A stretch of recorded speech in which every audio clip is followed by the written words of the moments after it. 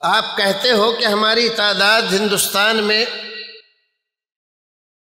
چوبیس کروڑ ہے، تیس کروڑ ہے، کتنی ہے؟ حکومت جو بھی کہہ رہی ہے وہ الگ ہے اور حقیقت جو ہے وہ ایک الگ ہے، لیکن آپ کروڑوں میں ہو۔